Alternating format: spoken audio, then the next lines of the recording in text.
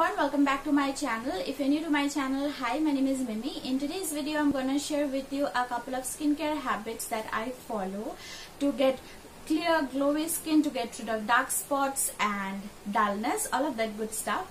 So these habits I have introduced them in my skincare routine about a year ago and they have paid me in the long run. So if you guys want to know what skincare habits are those and how do I do them then continue watching the first habit is shaving your face. I've been doing this over a year now and I really enjoy how this makes my skin feel. So when you have facial hair, facial hair can actually make your skin look dull. So I shave my face uh, once maximum twice in a month and I really enjoy doing this for my skin and uh, when you get rid of the excess facial hair, your skincare, your makeup can actually work better for your skin.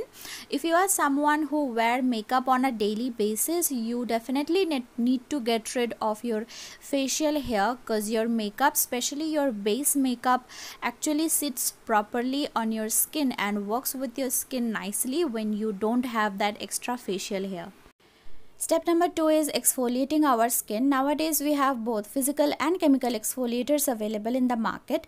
Did you know that a peel off mask falls under the category of physical exfoliator?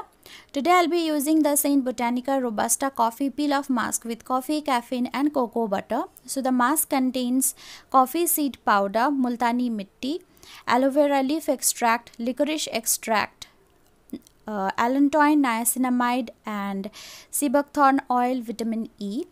So the mask contains coffee seed powder which is enriched in antioxidant that helps to prevent any damage caused by free radicals to our skin. Multani mitti which is a natural skin purifying agent helps to deeply detoxify our skin and get rid of clogged pores. Niacinamide and vitamin E work together to preserve the moisture barrier of our skin and aloe vera helps to soothe any uh, redness or irritation on our skin. So I have washed my face with my face wash. Now I'm gonna apply the peel off mask and don't shave your face and exfoliate on the same day because that would be too much for your skin. So at least leave two days gap between shaving your face and uh, using an exfoliator. I haven't actually shaved my face today. I had it shaved a few days back so that's why i'm applying the peel off mask today. So as you can see that the mask has a thick texture and also it has coffee seed powder in it. Also it has a beautiful smell of coffee and it adds a really nice cooling effect as soon as you apply it.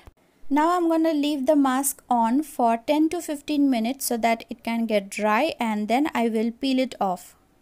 Now I'm gonna check from this side if the mask has dried and yep it has dried. So I'm gonna just uh, slowly but gently peel the mask off. So even though the mask has coffee seed powder in it it doesn't feel super rough or harsh on your skin when you apply it. And while peeling off the mask as you can see that the mask doesn't pull or tug on my skin which is a great thing so after peeling off the mask my skin feels super soft and fresh. And also as you can see there is no redness or irritation uh, on my skin after peeling off the mask. So it can it is perfect to use as an exfoliator once a week Step number three is adding vitamin C to my skincare routine as I have acne prone skin and I do get acne from time to time and they leave behind dark spots on my skin. Currently I'm using the vitamin C, E and hyaluronic acid brightening night cream by Saint Botanica. The key ingredients of this night cream are vitamin C, hyaluronic acid, vitamin E and shea butter. Apart from these ingredients, this cream also has green tea, moringa, aloe vera extract and some natural oils as well. So vitamin C is an antioxidant that protects our skin against free radicals damage and also over time vitamin C uh, lightens dark spots. Hyaluronic acid and vitamin E keeps our skin nicely moisturized and it locks in the hydration so our skin can stay uh, hydrated overnight. Vitamin E makes our skin feel soft and smooth.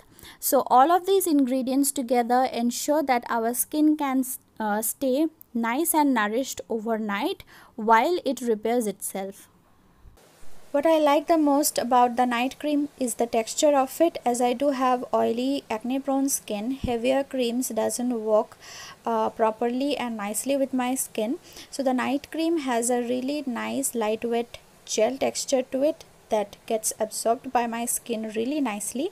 So after washing and toning my face I take a little amount of the night cream and I massage it into my skin and it gets absorbed in no time.